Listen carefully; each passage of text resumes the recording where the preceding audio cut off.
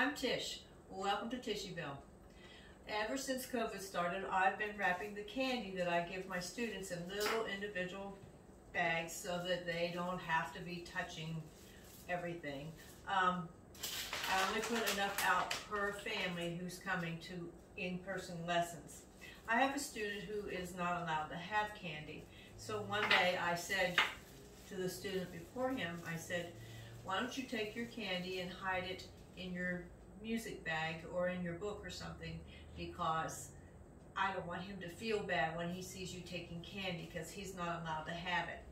So she said, oh, no problem, Miss Tish. I'm used to smuggling candy. Bye from Tishyville.